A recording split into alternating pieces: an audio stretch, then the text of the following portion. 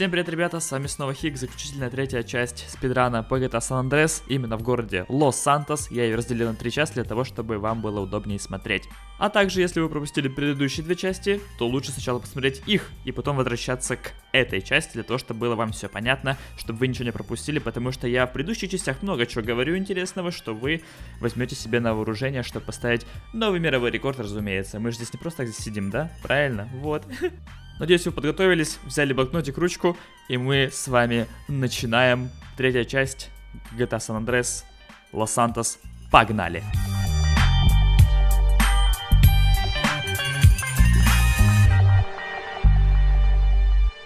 Фух. Ну а мы с вами продолжаем. Миссия Добермана все очень просто. После джаз бизнеса идет доберман. Миссия вот такой вот порядок. Сразу же бежим на парковочку. На втором этаже находится Energy, который нам поможет в плане буста, в плане скорости. Подгоняем его прямо в этот угол, прямо до конца. Желательно бы это делать, но я не подогнал до конца. И берем гранат, который находится на третьем этаже. Все очень просто, все делается через текстуры. Сразу же в это время, после того, как возьмем, будет такой хаотичный звук, то, что вы взяли какой-то предмет. Принимаем звоночек, и это был как раз таки тот самый звонок, который нам звонит, типа, Свит, наш брати, братишка, и говорит о том, что вот, типа, нужно же захватывать территорию, нужно показывать, кто здесь король. Мне тут не получилось проджампить, я упал, и пришлось энерджи подбирать. А на самом деле здесь можно просто этот момент проскакивать. Едем через шоссе, параллельно нажимаем на левую кнопку мыши для того, чтобы ускоряться. Вы все это прекрасно видите на тачпаде, это показывается все. Вот, вообще, если вы на байке, ускоряйтесь всегда. Я тут немножко замешкался, объезжая при этом, при этом всех NPC, которые двигаются на машине. Вообще, сл очень сложно, порой иногда бывает. Я сейчас даже сбьюсь. Сейчас это будет наглядно показано, что вы там это не заиграетесь. Потому что бац, вот буферизацию я тут показываю. Если зажать Escape, игра почему-то по-другому работает, но это мне нифига не помогло. Потому что я отбуферизился, так скажем и все равно врезался в байк. Замечательно. Буковка S, это на свит, миссия Добермана. Заходим на маркер и сразу же нажимаем Enter. Вот это важно, чтобы байк не пропал. То есть вы заехали на маркер на байке, и тут же желательно бы сразу нажимать на Enter. То есть спамьте как бы клавишу ввода, чтобы Карл сразу же зашел на байк. Здесь обучение. На самом деле в миссии Доберман именно большая часть времени занимает не сам геймплей этой миссии, а вот именно объяснение того, что вам предстоит делать. Ну, то есть обучение. Обучение идет, как нужно захватывать. Все, ладно, нам тут сказали, что надо отправляться в Гленпарк на территории банды Балас и захватывать его. Нужна пушка, наведусь к магазину Мунации. Ну, опять же, тут у нас знакомы с тем, что есть магазины с оружием. Очень прикольно, мы все давно знали об этом. Вот, но нам это вовсе не обязательно. Для чего вообще взяли гранаты? Гранаты это очень важная часть дальнейшего геймплея. Даже вот, буквально вот вместе доберман, для чего вот нужно? Вот, бац, пожалуйста, я взял гранат для того, чтобы уничтожить пачку баласов. Но опять же, тут рандом. Тут может как бы появиться пачка, так может быть ее и не быть. Вот как сейчас, да, произошло. Там, ладно, два баласа было. Вот сейчас один третий из машины. Это более-менее удачный еще случай был. Вот, но когда такого не произойдет, и все будет гораздо лучше, просто одной пачкой одну пачку можете уничтожить с помощью гранат. Вот так вот все просто. Также расправляемся с первой тач э, с пачкой баласов. Обратите внимание, где я стою и как я выбегаю на тротуар для того, чтобы баласы бежали все по одной траектории и большинство хотя бы из них я смог взорвать гранатой. А в идеале это вообще лучше их гранатами просто за закидать. Достаточно вот чисто одна волна, одна граната. Мне кажется, если бы Гранат можно было сделать много-много штук, никто бы не пользовался миниганом в конце игры, но об этом чуть попозже. Вот так вот со всеми волнами расправляемся. Так вот, вот вы заметили, сколько геймплея вообще заняло? Кстати, подбираем и броню, и хп, очень надо, чтобы был на фуле все. Вот, кстати, заметили, да, сколько вообще заняло у меня кидание гранат? Вообще весь геймплей на этой миссии. Не знаю, наверное, секунд 40, даже может быть и меньше. Это всего лишь раскинуть гранаты, послать всех нафиг, отвернуться, вторая, третья волна и все. В дальнейшем же, сейчас чуть ли я не минут, минуту буду здесь стоять для того, чтобы мне вот игра сказала, что вот твоя территория, будет постоянно подвигаться каким-то атакам и прочее того. В общем, это все неинтересная фигня, все это обучение. И, в принципе, вот вся миссия — это сплошная кат-сцена, можно так сказать. После того, как она завершается, у нас убегает тот самый предатель. Темпенни подставил меня, мистер Харек. И его убиваем с помощью гранаты легко, просто закидываем, и можно уже убежать. Миссия пройдена, он умирает с помощью гранаты, мы садимся на NRG, который был припаркован. Кстати, обратите внимание, как он был припаркован и где. Потому что может быть такое, что вы припаркуете NRG не там, и он просто пропадет после завершения миссии. Едем на миссию Краша, его же Темпенни. Там, где нужно сейчас будет прессовать русских. О, да. Такие вот дела, как всегда, русские плохие в этих играх. Грей Импортс. Ну да. В доках нужно будет. Паркуйте обязательно байк. Либо на дороге, либо за этим столбом. Это очень важно, потому что сам триггер миссии может его задиспавнить, его не будет у вас, вам придется взять автомобиль. Проще вот ставить байк вот там, где я сейчас его поставил, и все у вас будет хорошо, вы будете с байком, будете, как, как говорится, на коне. И проблем с перемещением у вас точно не возникнет. Опять же, выбираем прямые пути, без каких-либо закулочков, переулочков, без поворотов. Просто едем прямо, спускаемся в канаву, потому что, в принципе, там очень просто с канавы добраться до места назначения, куда нам надо, при этом избегая трафика, ну, как обычно, да, собственно, в канаве никто не обитает, кроме бомжей, которых тут тоже и нет. Вот, свободный путь, широкая дорожка, что может быть лучше, еще Energy с нажатой, блин, этой клавишей, да? Так, э, пацаны, дальше уничтожаем пульт управления с помощью УЗИ через Ctrl. И просто на Energy, не стесняясь, заезжаем в этот самый склад. Просто давим всех на своем пути. Стараемся это делать максимально быстро. Тоже, опять же, нужно тренироваться всему этому. И у нас сейчас убегает русский торговец оружием. Мы просто его давим. Понимаете? Если вы будете выпускать в, не, э, в него обойму, это у вас займет очень много времени. Он как бы бас, басак, он басаком считается. Вот, типа как в Dark Souls боссы. Вот, у него, короче, на него очень много патронов уйдет. Также с дробовика, неважно. То есть пули на него тратить нет смысла, лучше его сбить. Это будет намного быстрее, чем просто в него стрелять. А так, по факту, вы должны просто за ним будете следовать, уничтожить его автомобиль. Ну, это если казуально проходить, а мы тут с вами спидраном, блин, занимаемся. Сейчас спокойно едем на Грув Стрит, сейвим байк. Вот здесь он сейвится. Оставляем вот так вот и уходим на следующую миссию райдера. Вот так вот все удобно. Кража со взломом. Отличненько. Та самая миссия, где вам в первый раз предстоит послайдить с помощью, ну, без помощи оружия, точнее. То есть уже на ящиках. Забегая чуть вперед, скажу вам сразу, что это не у всех и не всегда получается.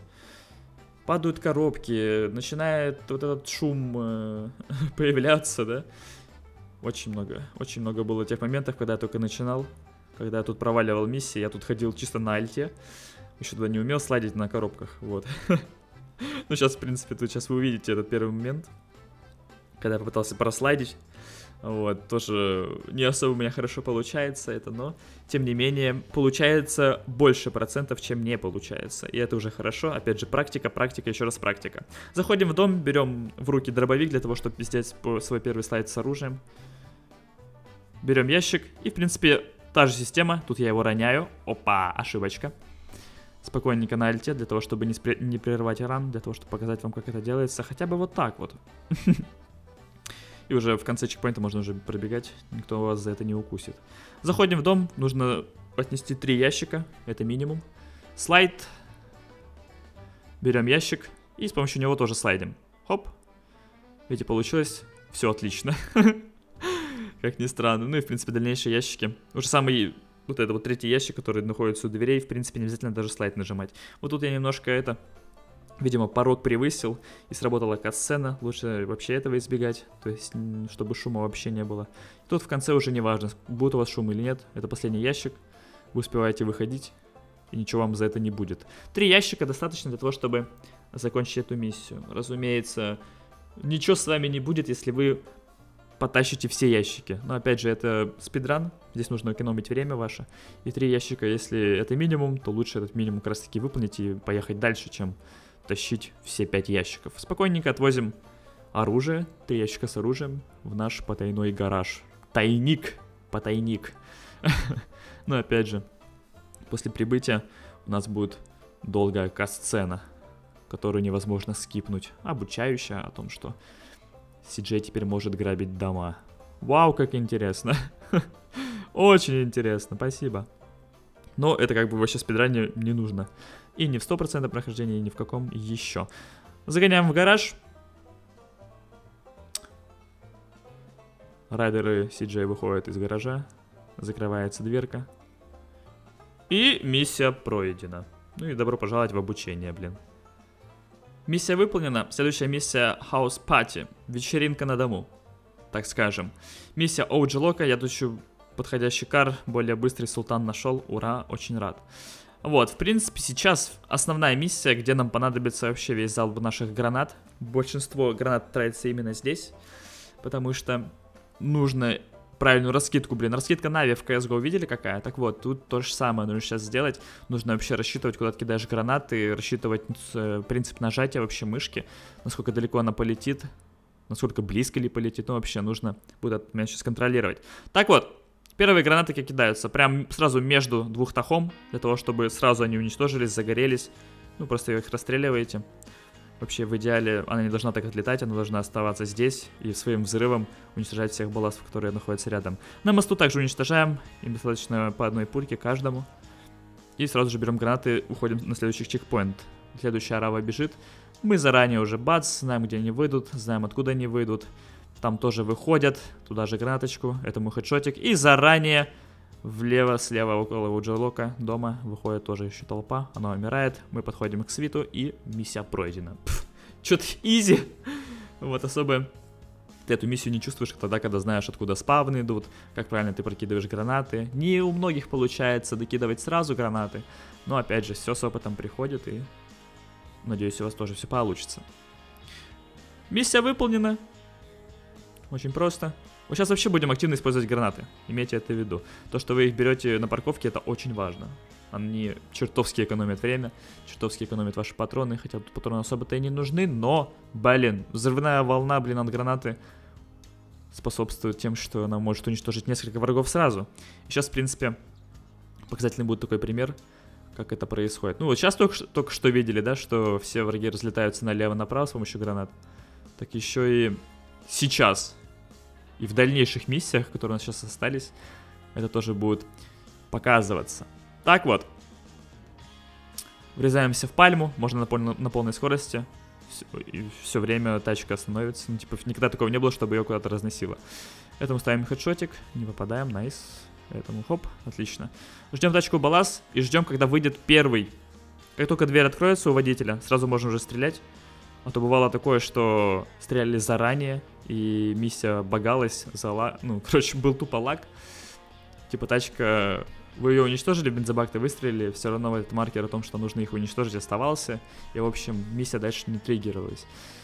Обычно ящики скидываем в руки райдеру. Старайтесь, чтобы нижний вот этот беленький прицельчик был прямо на самом райдере, чтобы точно попадать. И все будет у вас хорошо. То есть вот так вот просто ведите его, кидайте. И чем быстрее вы это сделаете, тем лучше. Разумеется. Of course. Это же спидран, йоу. Заходим в Пикадор. Нужно заехать в Paint Spray. Надо быть осторожнее, потому что некоторые... На некоторых случаях вообще тоже, опять же, тут сила рандома. Может быть, на дороге расположены блокпосты, через которые, блин, ты хрен проедешь. Нужно будет об... обволакивать их через, там, не знаю, полево, поправо, да? Вот. Но мне повезло, и ни одного блокпост... блокпоста не попалось. Отлично. Все, просто заезжаю по инспрей. И закрашу автомобиль. А, обычно, блин, голубой красит. Ну ладно, сейчас, видимо, повезло. И такой более в темный цвет перекрасила. Отличненько. Вот и все. Нет ничего в этой миссии сложного. Вот опять же, основной момент это гранаты. Э, тайминговый выстрел в бензобак. Но опять же, да, чтобы дверь открылась. И все отлично. У первого, так сказать, балласа, который выходит из нее, из той тачки. Все, завершаем миссию. И следующая у нас миссия. Так, сейчас. For life, CJ, for life, you know. Да-да-да, я знаю. Круто, супер, Десайнер Райдер. Так, ограбление дядюшки Сэма. Обворовывание государства там что-то было. Ну да, Та самая миссия, где вам с помощью подъемника нужно загружать ящики к себе в фургон. О! Изначально, что вам скажу, опять же, обратите внимание, как я еду вообще к этому порту, да? Через какие улочки за улочки. Вот, сначала я вам скажу, что в, в приоритете вообще брать по два ящика. Я помню, в детстве проходил эту миссию, все время брал по одному. Вот, и какое было мое удивление тогда, когда я узнал, что можно брать и по два. То есть вот эти вот, не знаю, как правильно сказать, э, зо... оступы, оступы, да, у подъемника, зоступ, я не знаю, как правильно сказать эту хрень назвать, как это под... подцепляются эти ящички. Не знал, что можно, оказывается, два хватать щипцами этими. Вот. Оказывается, можно, и это, блин, черт побери, экономит время. Так, все, приезжаем к метке. Берем в руки нож. И прям где-то вот здесь бат чиркаем ножом. Поняли, да, где это место? Вот. И уничтожаем панель управления. Кидаем гранату, взрывается она. Этих даже можно не убивать, потому что мы делаем все слишком быстро, они не понимают, что происходит вообще здесь. Они таки вас не будут атаковать, потому что с помощью взрыва открылась, блин, панель. И они типа никак на это не реагируют. Берем два ящика и уже заранее подготов... подготавливаем их для того, чтобы загрузить в фургон. Вот. Раз ящик, два ящик. Изи! И также с другими ящиками, которые еще остались у нас здесь. Спускаем до конца вниз с помощью нумпадов. Поднимаем с помощью нумпада 8. Выкручиваем назад. Раз ящик. Райдер там пока стреляется. С райдера вообще можно не переживать. У него все равно не отнимут хп, если вы будете все быстро делать. Так, ну этого просто, пока райдер с ним борется, проще его уж самому завалить. И также эти же два ящика. Бац. Все очень просто. Как, блин, носки надеть с утра. И... А, да, слишком маленький там этот... Между мети, блин, было. Между ящиками, блин, маленький зазорчик был. И не удалось протиснуться, нужно было еще чуть правее взять. Все, загрузили все ящики. Спокойненько вылазим из погрузчика. На место пассажира садимся и уезжаем в Уолфилд. В тот самый, э, не знаю, переулок, где же живет Эммет. Ну, не то чтобы живет, а там, где он устраивает наше стрельбище на миссии Биг Смоука.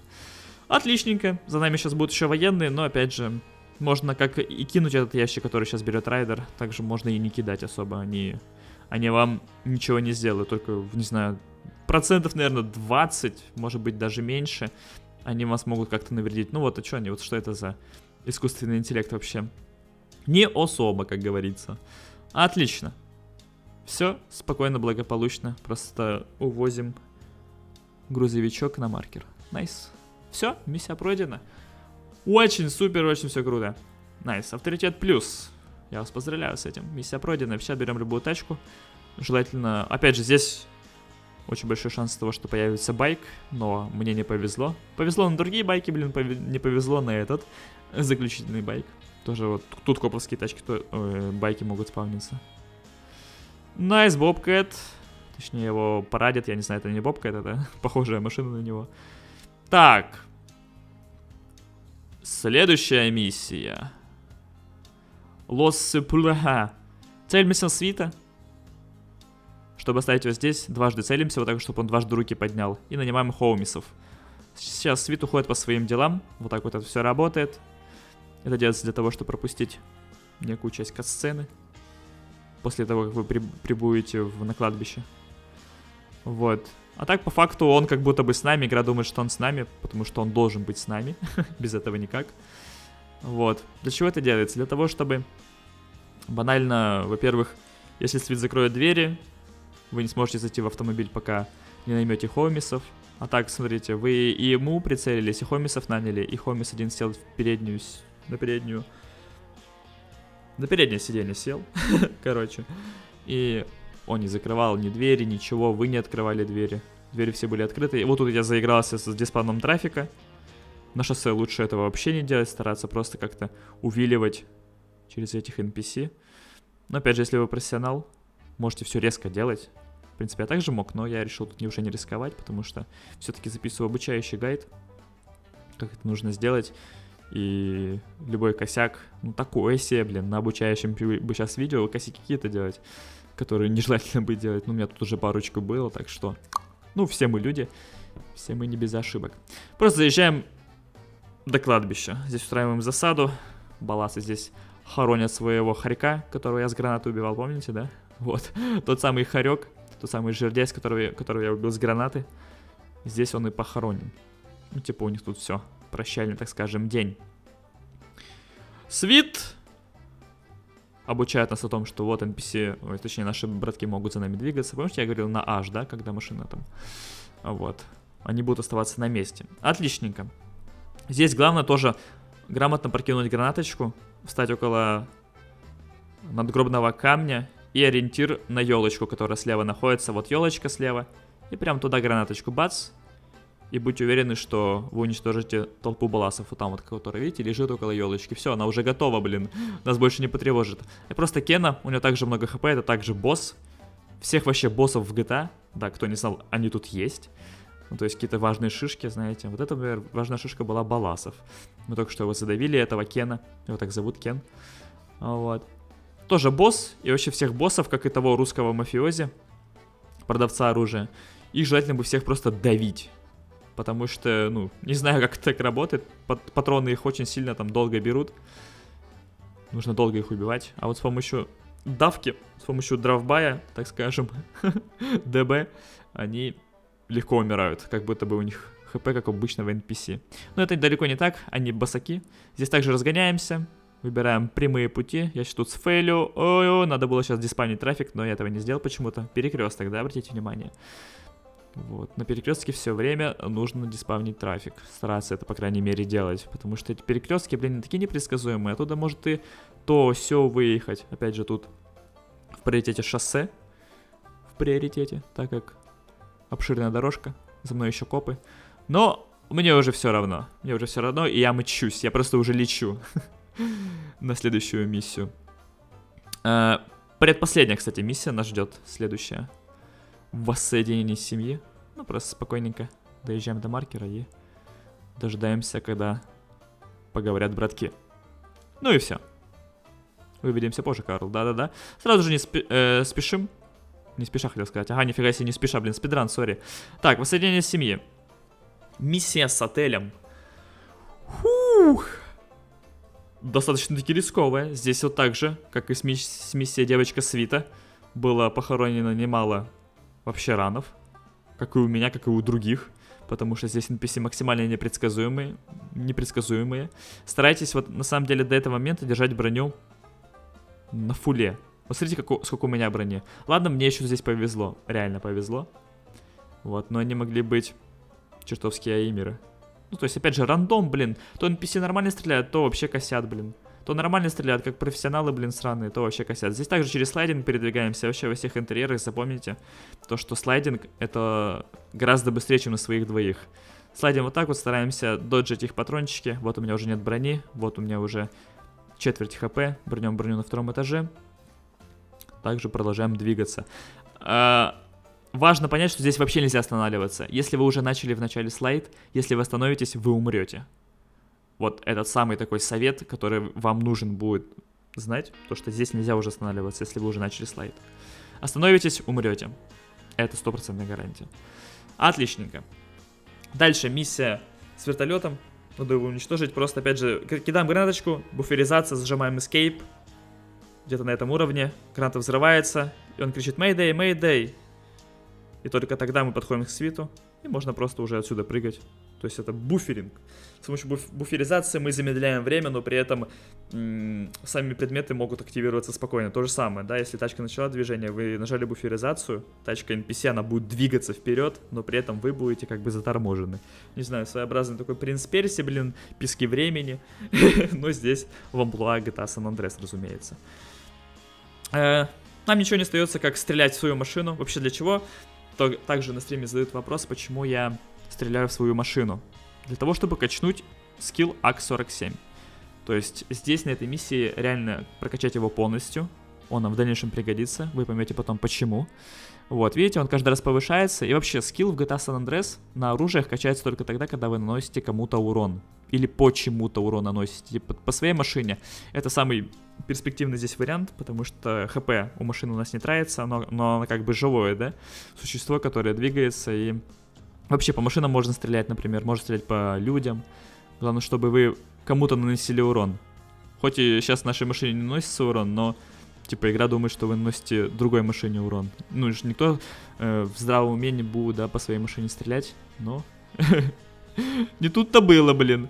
Вы просто постреляете по своей машине и тем самым качаете скилл АК-47. Это делается для того, чтобы с нее, во-первых, можно было слайдить, обратите внимание на полосочку, как она быстро прибавляется, когда вы стреляете. Очень быстро прокачивается скилл АК на этой миссии. Да и вообще, по факту, скилл АК, наверное, самый такой легкий из всех, который можно легко прокачать. Вот. Делается для того, чтобы слайдить во время, ну, вообще, с АК-47. И так можно, конечно, слайдить, но при этом вам нельзя будет стрелять. Стрелять. Вот. Качается для того, чтобы слайдить и стрелять. Слайдить и стрелять. Это потом нам пригодится очень-очень-очень сильно. Вот, просто запомните этот момент. И делайте то, что говорю. Это вам потом пригодится. Тут у нас всякие NPC залетают, которые потом умирают. Потому что мы их заранее уже убиваем, знаем, что они будут вылетать. Ставим хедшотики. Все, в принципе, когда ак прокачали, можно уже не стрелять. Но если так делать нефиг, можно, можно и стрелять, можно не стрелять. Главное качнуть скилл на этой миссии. И все. В отеле. Запомнили, да? В отеле избежать количества урона дофига. Но опять же, это рандом. Вот. И прокачать скилл АК-47. Для дальнейших миссий. Нам он пригодится. И это была предпоследняя, кстати, миссия. Воссоединение семьи. И дальше нас ждет зеленая сабра. А, кишки. Ну и все. Долгая касцена. Эффектное падение. Эффектный вылет из рекламного щита прям на проезжую часть, прям бензовоз, отлично, прям, не знаю, просто авторская работа, там, не знаю, операторская на уровне. Прям сценарист, прям вау! Не знаю, наверное, там праздник себе устроил после этой сцены. Все, братки, все живы, все очень круто. Надо валить, в натуре нафиг, пацаны, надо валить. И миссия спокойно проходится. Изи. Последняя миссия Гринсабра. та самая миссия, где вот те 25 гранат, которые нам дали на парковке, заканчиваются. Собственно, там они уже и должны закончиться. То есть все, видите, так рассчитывается, что до мелочей, реально. Все рассчитывается так, что на последней миссии у вас уже не будет гранат. Да и по факту последняя миссия такая, что у вас, по сути, все пропадет. Badland вы будете начинать без ничего. Ну, фотоаппарат вам дадут и все. Заходим на маркер. Зеленый сейбр. Last mission, как говорится. Принимаем звонок от Цезаря. Банда Груф уже уехала на разборки, блин, питерские. Встречаться надо с Цезарем. Разумеется, у нас в гараже уже припасен байк Energy, который мы хранили ранее. А полицейский байк оставляем чуть ли не до конца игры. В ЛС мы больше сами не вернемся. Так вот. Едем под мост на встречу с Цезарем. При этом ускоряемся, не забываем ускоряться на байке, когда едем. Опять же, выбираем прямые пути. Видите, насколько он прямой, блин. Просто я прямо поехал и налево. Все. Больше никуда не сворачивал. Ну ладно, тут еще немножечко. Ставим байк наперед, на опережение. Можно и так поставить. Заходим в автомобиль. Активируем касцену. Сразу же тут же ее скипаем, нафига нам ее смотреть. Мы и так все знаем прекрасно, что райдеры смог предатели. Заходим на байк. Заходим, садимся на байк. И спокойно едем на помощь к нашему брату Свиту, с красавчику тот же. Опять же, вот, какие маршруты, обращаем внимание. Опять диспавню трафик на, сами знаете где, на перекрестке. Падаем, спокойненько разбираемся с ними баллast с помощью УЗИ, хедшотики ставим. У меня собака, блин, на заднем фо э, фоне залаяла, офигенски. Это не моя, это соседей. так, Разобрались, подъезжают теперь фургончики, мы заранее знаем, где они находятся, туда кидаем гранаточки. Раз, два, три. Э, тоже примерно заранее ориентируемся, где он проедет, кидаем туда гранаты. Nice, отлично, просто превосходно, нафиг раскидка гранат. Тут у меня два придурка осталось, fuck that shit, благо еще граната осталась. И последняя, отлично. Вот, в принципе, все, гранаты и закончились. Последняя миссия. Уничтожаем этих, приезжает еще одна тачка. Тупо убиваем водил для того, чтобы он остановился. И заканчиваем Лос-Сантос со временем уже час 17, 42, приезжают копы. Облава наступила, найс, все круто, все разбегаются в разные стороны, я со свитом стою на месте, терпилы. И заканчиваем Лос-Сантос. Все, Лос-Сантос закончен, третья часть подошла к концу. Заканчиваем Лос-Сантос со временем час 18. В принципе, неплохо. Для новичка прям совсем ого-го будет. На этом третья часть подходит к концу. Всем большое спасибо за просмотр, спасибо за активность, за лайки, за комментарии. Очень всем благодарен. Благодарен всем и каждому, абсолютно. Ждите четвертую часть, там уже будем разбирать Бэдленд, то есть пригород, миссии Каталины, Вузи, Правды. Все это ждет в следующей части. Всем пока-пока.